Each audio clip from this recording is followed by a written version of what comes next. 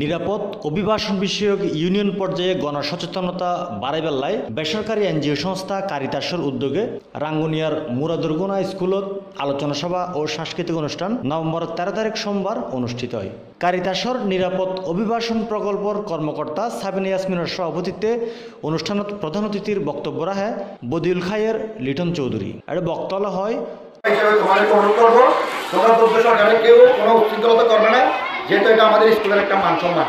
তোমরা থাকবে ওরা ওনাদের অনুষ্ঠান শেষ করো যাবে অভিবাসী কর্মী হল তারার পরিবারের জীবনযাত্রার মান উন্নয়ন সহ জাতীয় অর্থনীতিত নানাভাবে অবদান রাখিজার তবে অজ্ঞতা ও অসচেতনতার কারণে বিদেশগামী কর্মী হল এক শ্রেণির অসাধু ব্যক্তি আর রিক্রুটিং এজেন্সি হলের দ্বারা প্রতারিত হয়ে ফৈরুজার গই কারিতাস পরিচালিত অভিবাসী তথ্য ও সেবা কেন্দ্রের মাধ্যমে নিরাপদ অভিবাসন বিষয়ে বিদেশ সাথ দিতে আল্লাহ বিদেশত অবস্থান আর বিদেশ ফেরত কর্মী হলের বিভিন্ন তথ্য সহায়তা প্রদান করা হয় বলে জানায় কারিতাস অভিবাসন প্রকল্পের কর্মকর্তা। মেনকা তালুকদার সঞ্চালনায় অনুষ্ঠানত বক্তব্য রাখে স্কুলের প্রধান শিক্ষক লিলি রানী বড়ুয়া, স্কুল পরিচালনা পরিষদের সদস্য আয়ুব মাহমুদ সহ আরও বোধকে পরে সর্বস্তরের মানুষের জনসচেতনতা বাড়াইবার অংশ হিসেবে সাংস্কৃতিক গোষ্ঠীর পরিবেশনায় সচেতনতামূলক গান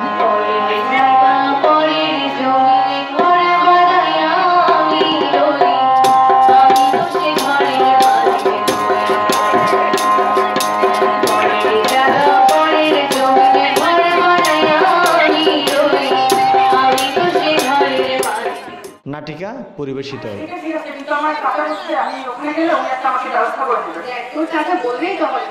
কারণ এই যে দেখো কেওয়াই এর মুরগি মার্কা ঢেউটিন দিয়া বানানো আমার ঘর। কেওয়াইয়ের মুরগি মার্কা ঢেউটিন লাগাইলেই হিট।